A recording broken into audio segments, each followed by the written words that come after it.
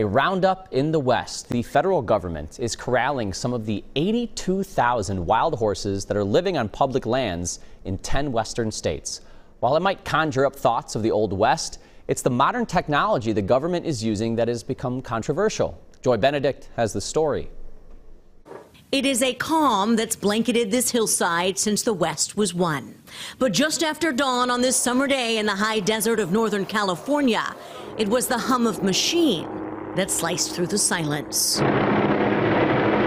On the range, this is the sound of controversy for man and Mustang. Some horses here in Twin Peaks were raised on the range for the U.S. Cavalry. Jeff Fontana has been working these lands for more than 30 years with the Federal Bureau of Land Management. It's charged with caring for America's wild horses. Uh, they're living symbols of the historic and pioneer spirit of the West. But with an estimated 82,000 of them running free in 10 states, this year alone, the Bureau, known as BLM, is tasked with slimming the herds by 20,000 horses and burros. We've been using helicopters um, for most of the program. And really, helicopters are a safe and efficient way to move large numbers of animals across a landscape. As the chopper descends on a group of horses, it pushes in, pulls back, pushes in again, eventually corralling them into a trap. But how dangerous is this for them? Well, injuries occur. You know, uh, we're talking about wild horses, wild animals that have never been around humans. But our track record is, is really good in this program. Injuries resulting in death um, from our gather activities uh, are less than uh, one half of 1%. But of course, you have to understand how traumatizing or sad it is for the public to see you lose any horse.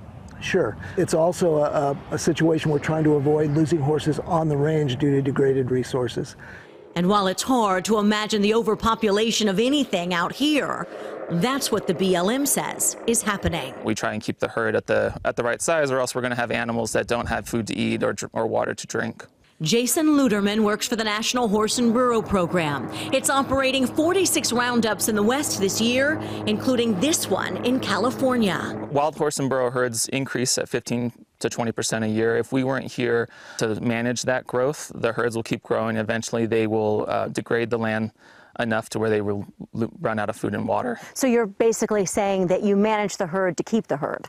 That's exactly right. Yep. Our goal is to manage healthy herds on healthy public lands. And so the way we can do that is to make sure that there's enough resources out here for those animals to survive.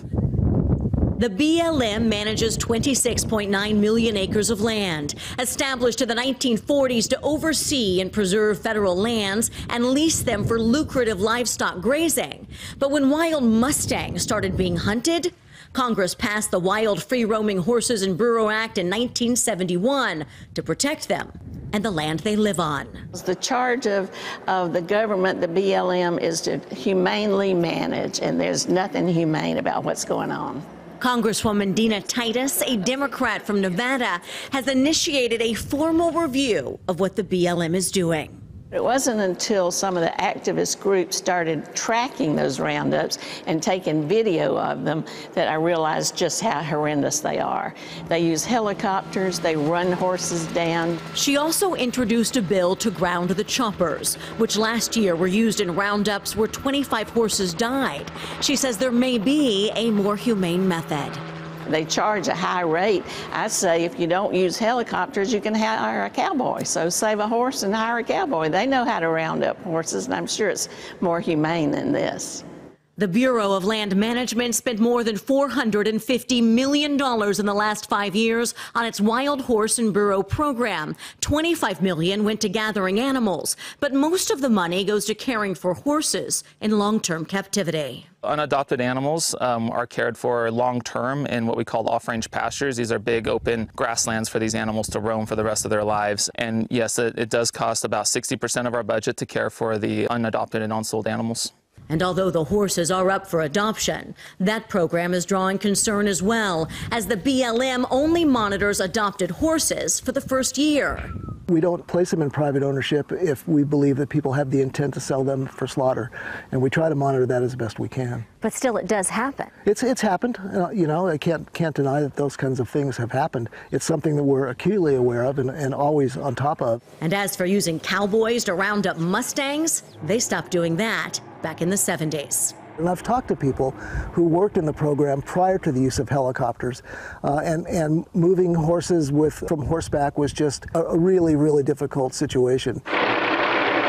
But on this morning, the Bureau of Land Management collected 46 horses, including six foals. Most of the animals were sent to temporary holding facilities, except two.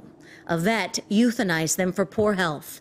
And although a handful of these horses will receive birth control and be released, the rest will now live a domestic life off the range and away from the land that once made them wild and free.